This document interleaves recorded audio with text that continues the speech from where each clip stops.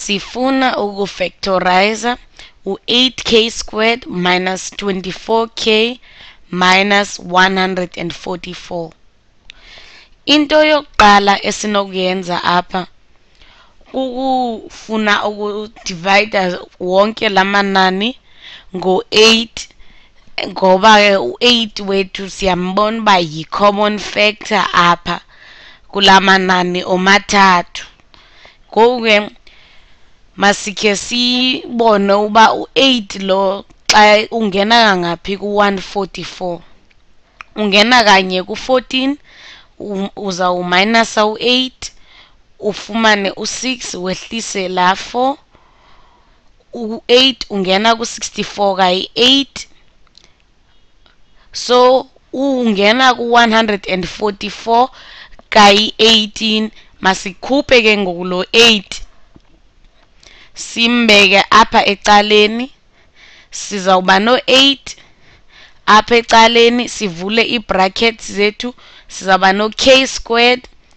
U-24 divided by 8 ngu-3 minus 3k minus 144 divided by 8 ngu-18 minus 18 ke ngoku ke uyabona sesinale quadratic esiyiqhelileyo. Siyayazi uba ibinto injena ingu-x squared minus bx plus c. Uyayazi apha ngaphambi kwala x squared kuna-1 noba asimbhalanga ukhona. Siyayazi xa sesiyifactorize into esiyenzayo ukuba kukufuna inani amanani amabini ozothi xa uwa-eda ufumane u-b uya ufumane u-b xa multiplier ufumane u-c apha ke ngoku apha sifuna amanani xa multiplier aza kunika u-negative 18 ngobani ke ngoku la manani azii-factors zika-negative 18 ingangu-1 ngoba siyambona la 18 unegative ithetha uba uzawuba ngu-1 no-18 no kodwa enye yazo funeka ibe negative.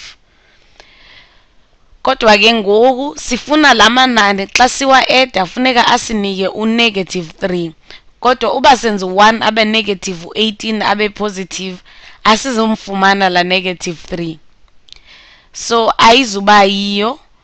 Noba u-18 nguye onegative u-18 abe negative asizuyifumana la negative 3 ithetha uba ke ngoku la amanani angu-1 no-18 ayingawo esiwafunayo uba sino-positive 3 no-negative 6 siyabona u-positive 3 no-negative 6 bazasinika la negative 3 xa siba-eda ithetha uba ke ngoku la manani esiwafunayo ngu-positive 3 no-negative 6 no-negative 6 ngawo ke la manani esiwafunayo.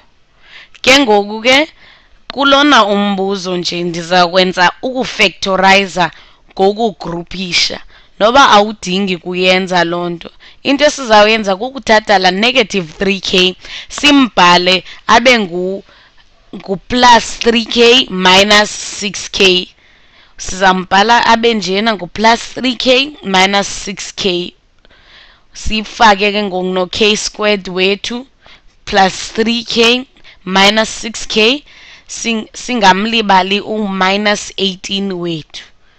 Siphinde sikhumbule uba yonke le nto funeka siyimultiplaye ngu-8 ke ngoku ke sizawuzigrupha ke ngoku sikhuphe ii-common factors apha uyabona apha kulawo okuqala amabini i-common factor yethu izawuba ngu-k.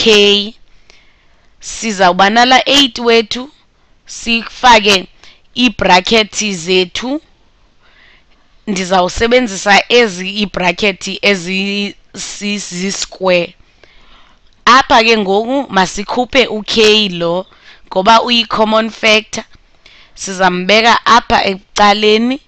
Sikhuphe lo k sifumane u-k times k plus 3 minus apha sizawukhupha u-minus 6 ngoba siyambona uba uyi-common factor u-minus 6 wethu. Masimkhuphe ke ngoku la minus 6 sizawuthi plus u-negative 6 sifumane u-k plus u-3 sifake ke ngoku ndifake nenye ibracket yami esisquare. Siyabona ke ngoku apha singaphinde sikhuphe u-k plus 3 ngoba uyi-common factor. So masiyenze ke ngoku loo nto. Masimkhuphe u-k singalibali kodwa uba kuqale kuno-8 nanko ke u-8 wethu phaa ngaphandle sikhuphe ke ngoku u-k plus 3 wethu oyi-common factor. Sizawuba no sizawuba no-k plus 3 times u-k singambhali lo plus minus sizawubhala nje u-minus 6 sibe ke ngoku siyifactorizile le le nto yethu. Kodwa ke ngoku siyayazi ukuba xa umultiplaya asizidingi ezi bracket ezi ezisisquare ngoku ke ithetha uba le nto xa sesiphinda siyibhala izawuba ngu-8 times k plus 3 times k minus 6 sibe sigqibile ke ngoku.